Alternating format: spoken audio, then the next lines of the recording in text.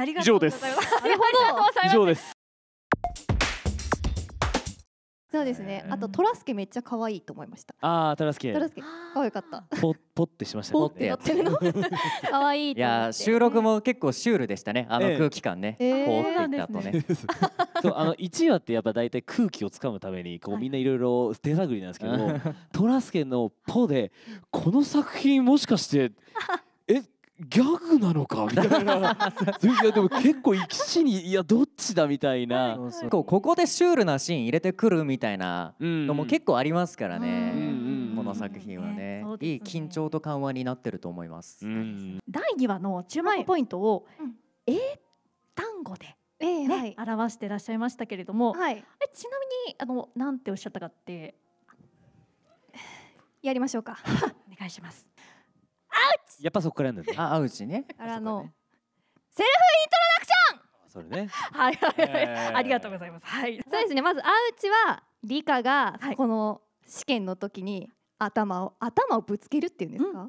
あそこですね。はいはいはい。すご空振っいて。空振ってはい顔ガンみたいな。はいはいはいセルフイントロダクションは、はいあの王子さんのはい。王子なるってやつです。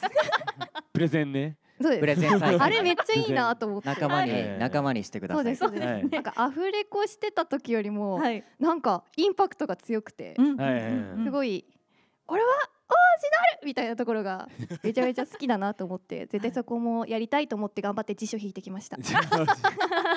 なるほどだからちょっと英語わかんないんで。自己紹介の意味をね。ですね。あ、そうだ。三人でジェスチャーをそうですそうされました。あれはえあれを回収しないまま終わって 回収しましょう。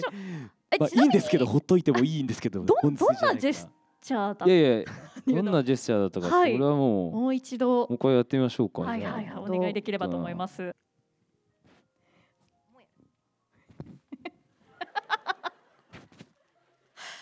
はいありがとうございます。以上です。ありがとうございます以上です。ありがとうございます。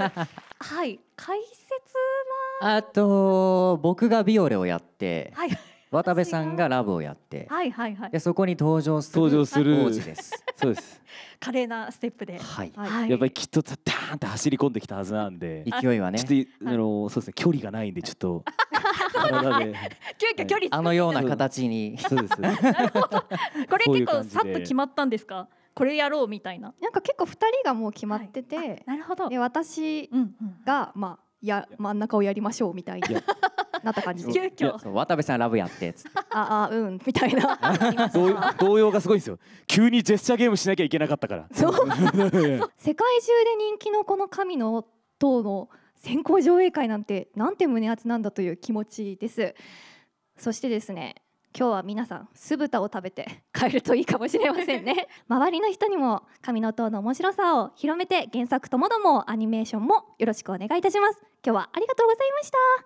えー引き続きですね、えー第1期から続く熱量を第2期でもしっかり発揮できるように、えーみんなで、えーカメラと頑張って作っておりますので、えー何卒本放送の方もどうぞよろしくお願いします。今日はありがとうございました。えー世界的にはすごく人気な作品なんですけども、えー日本だとねちょっとまだもう少し盛り上がってもいいんじゃないかなっていうぐらいの作品だと思いますのでぜひとも皆さんのお力を借りて、えー作品全体を盛り上がって、えーいけたらいいなというふうに思ってますので SNS を通して感想とかもいっぱいつぶやいてもらえると覗きに行きますのでぜひともよろしくお願いします。